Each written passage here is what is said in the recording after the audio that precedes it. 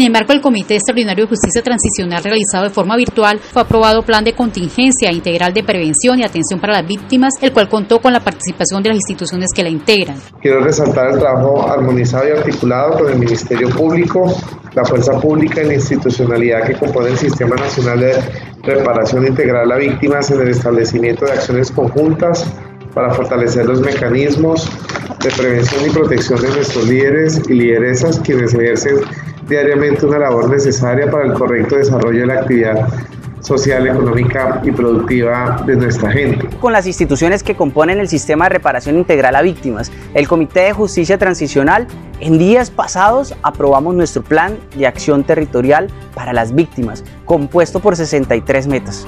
El día de hoy aprobamos nuestro plan de contingencia y la ruta de prevención y protección para seguir en defensa de la vida trabajar armonizadamente y articulado entre todos para convertir a Barranca Bermeja en un distrito muy especial. Dentro del plan de contingencia se busca dar atención inmediata a las víctimas. Por su parte, en el programa de prevención y protección busca disponer acciones frente a la ocurrencia de hechos de amenaza y riesgos de afectación a la vida.